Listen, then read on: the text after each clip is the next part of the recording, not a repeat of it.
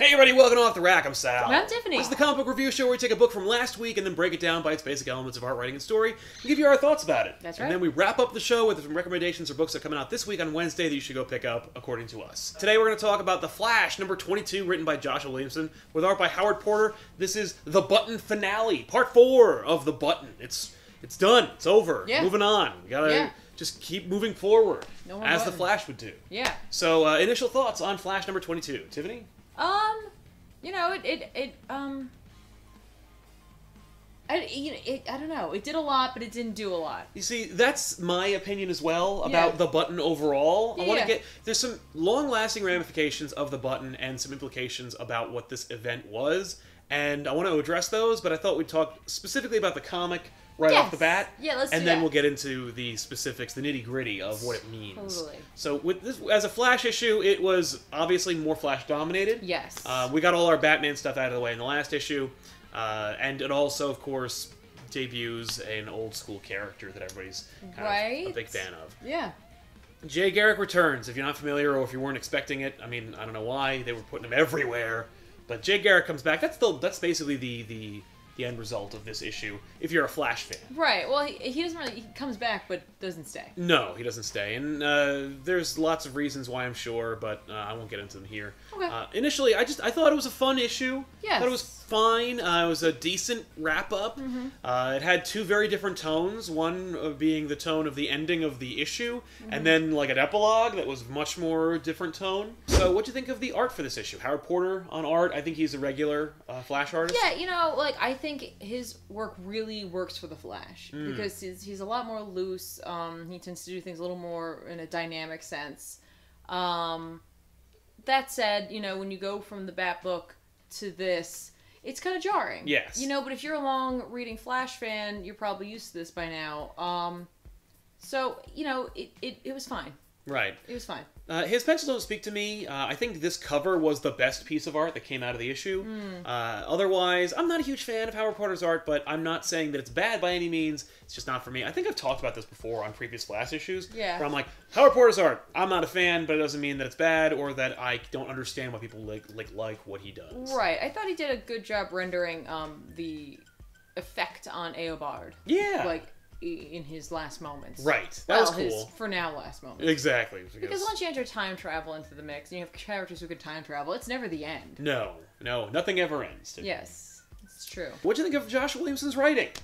Uh, he does a good job. Um, I mean, I've always liked his writing, so I think like he's a very competent storyteller. Yeah.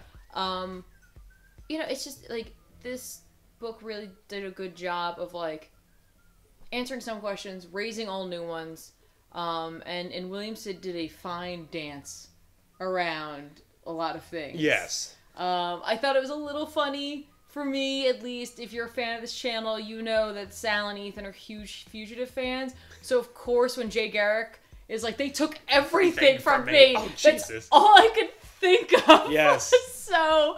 You know, I don't think that's something Williamson was doing intentionally. That's just something a character wanted a big emotional moment. Exactly. But for me, all I could think of was, you know, Provasic. Yes. Devlin McGregor. Devil McGregor.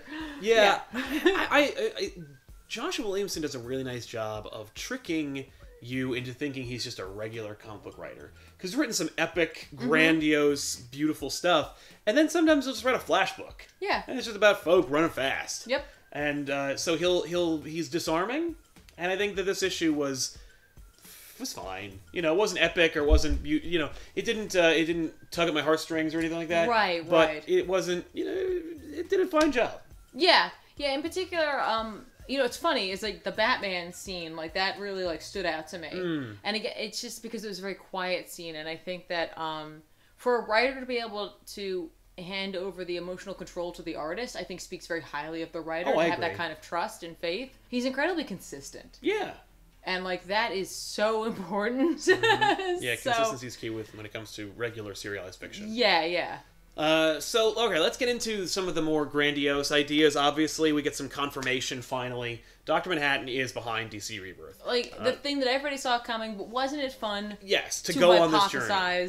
Yeah, to theorize, to wonder, to, to ask questions. Because the fact is, while they did allude to it, while there were some overt references to it, you know, nobody said Dr. Manhattan's here. They didn't, you know, they, they, they made sure to wash out the blue hand in every scene that it appeared in so that it could be anything. Right. Uh, but obviously now it is just, it is just Dr. It's just him. Which is fine. Yes. And I'm on board for that despite my non interest in, you know, post Watchmen fiction, like before Watchmen. Right, right. Uh, but I I think it's cool, and I'm glad that it was finally confirmed. Right, and I think DC's clever.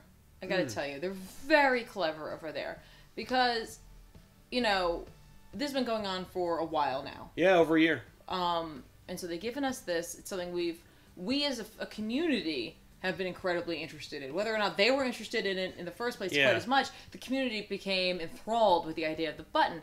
And so they've given us, you know, here's some conclusion on that, some finality on that. Right. However, I feel like the bigger question is who is Mr. Oz? Right. And that one they will not tell us anything about. nope. And I think that is just so clever that they made you feel like, okay, cool. Like, all right, like now I got a little something else. Something else we all kind of already knew. Yes. For me, it's kind of interesting because the button doesn't do anything, right? At the end of the day, it doesn't actually accomplish much. Batman finds the button at the end of DC Rebirth. In this, the button is taken away from them, and no questions are answered. Mm-hmm. You know, Batman and the Flash go on a merry adventure through time and meet a doomed timeline for about 10 seconds. Right. And Eobard dies, is resurrected, and dies again. Right. And Well, no, he's not resurrected. well, I mean, we just we just Yeah. see time in different ways. But the fact is, Eobard Thawne is returned to the mortal coil and then shuffled loose from Right. it. And so at the end of the day, like the only thing that happens is Batman loses the butt. I mean, I don't feel like it, it was something where they didn't care. No, I don't think they didn't Or- care. But it's a funny thing because I'm talking about event fatigue, right? No, Everyone talks true. about being suffering from event fatigue. We're all tired of these big event. No, people are not tired of big comic book moments. Right, and like that's what this was. That's I think that's the the key here is that this was a moment. This wasn't an event. No. Because honestly, Rebirth is the event, Yeah. and it's still going on. Well, it's also kind of like the publishing label. You know, like Rebirth is the is not it's it's transcended status quo. Yeah. And it's become like DC Comics might as well change their name to DC Rebirth. Right. That's how intrinsically tied it is with the overall publishing approach. no, it's true. It's true. But like for me, the button is more. It's almost like it's like a little snack or like an appetizer. Right. You know what I mean? Like, Yeah.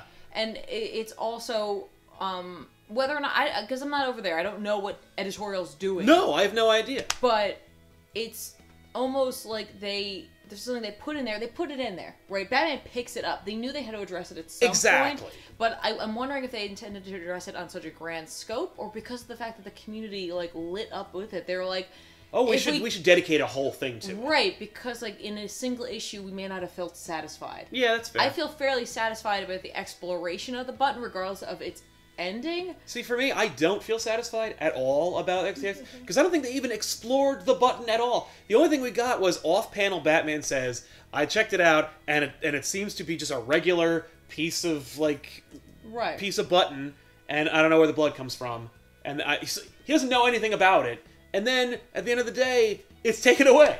That's it.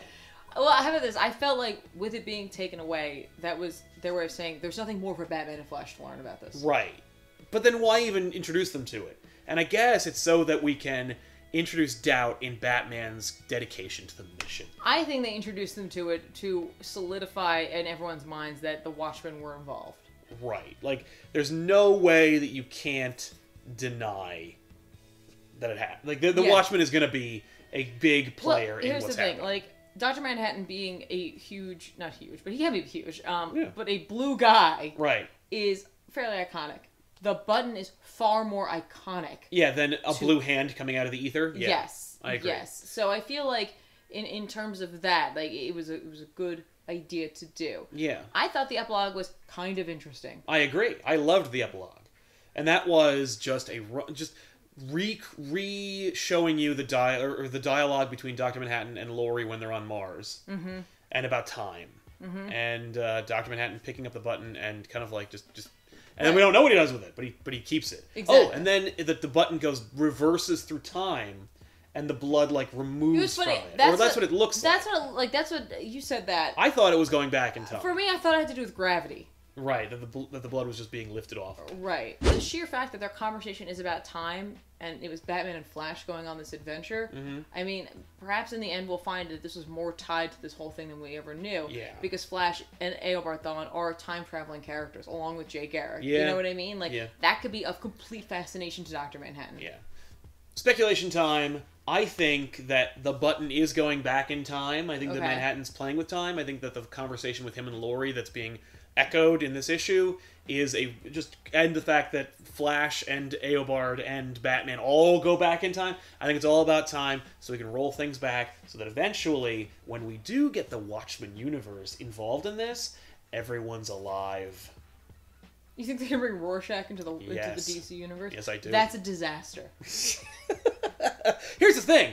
Rorschach's already in the DC universe, No, and his name is the Question. The question is not as bad as Rorschach. Oh no, the question's like a crackpot. Yeah. The like Rorschach is a lunatic. The question would look at Rorschach and be like, "I'm done. you are going too far. I'm done. I'm not Yeah. doing this anymore." And since there's only two of us on the couch today, we're just going to give you our recommendations books that are coming out this week on Wednesday that you can go check out that we think are cool. Uh, I just want to do a quick apology. Last week I only mentioned like one or two books. There were a bunch of books that came out last week that I love and wanted to see. Uh, Super Sons came out last week, so if you've missed it for whatever reason, go back, get it, because it wrapped up the Super Sons arc, and it's just fantastic. And this week, I recommend you should pick up Action Comics number 980 from Dan Jurgens and Patrick Zircher. Uh, this one, by the way, is a majestic Zod uh, butt shot on the cover. So if you like TNA, but you also like dudes, this cover is for you. 'Cause You get some serious Kryptonian man ass in this issue. I'm gonna get that. Yeah, right? Check it out. I'm gonna. I'm gonna Uh, get that. Superman Revenge Squad is looking to recruit Zod, and uh, as you might know from Ben's recommendation of uh, Suicide Squad from a week or so ago, uh, the Suicide Squad is looking to recruit Zod, and so uh, there's going to be some. So they're gonna have a reality show where Zod has to pick between two different teams to see who he'll join at the end. Yeah, Awesome. I don't think that's what it is. But uh, you are going to see Superman versus the Revenge Squad versus Suicide Squad all trying to get slash stop Zod. And that sounds like fun. So check that out. What about you? What indie book are you doing? I don't actually. I mean, like, uh, it depends. Is Valiant Indie? Uh huh. Is it? Sometimes. Sometimes it is. I don't know. I gotta tell you, there's some stuff from indie that was coming out that I was really interested, like Underwinter. Um, but I know it's not for everybody, so I wasn't gonna recommend it on a whole. Fair enough. Um, and while Doctor Strange and the Sorcerer Supremes is out, I haven't been keeping up with that because that's not my main title. I'm not gonna pretend like I'm reading it. I'm Fair sorry. enough. Well, I'm you not. gave it some time. Where the hell is Doctor Strange? Yeah. Well, he's not in the Secret Empire, I'll tell you that. Yep, but he will be. Eventually. Um, but so I turned to Valiant, and while I don't read a whole lot of Valiant, what I have read of Valiant has been more of the supernatural side of it, including Doctor Mirage. So I was excited to see a book called Rapture coming out, which Oh. is gonna have people like Shadow Man and Ninjak in it, and dealing with some supernatural elements like defeating an elder god. And the cover has Ninjak kicking skeletons. Oh, cool. So like immediately, I'm down. I'm into that. Um, I it seems like it might be a little ridiculous and over the top, which is kind of up my alley. Every once in a while, I need something like that. Totally. And even if it's not, it turns out to be totally awesome. Yay for me! Um, it's written by Matt Kindt with art by Cafu. Ooh. I don't know. Who I don't know who that is either. I don't either. Um, Intriguing. but Matt Kindt, I know he knows the Valiant universe pretty well. Yeah. Um, so I'm kind of interested to see where this is gonna go. And again, supernatural, Totally. Kicking skeletons. Right? What you can't go wrong. That's right. You How literally can't go wrong. How can you refuse? with like a essentially a ninja fighting skeletons, Skeletons. with like Shadow His Man feet. there. Yeah, with his feet. Yeah, Check it out. yeah. I'm. I'm totally in. Cool. Well, thanks a lot for watching, everybody. We'll see you guys next week with another episode of Off the Rack. I'm Sal. And I'm Tiffany. Thanks for watching. Keep reading. Bye. Bye.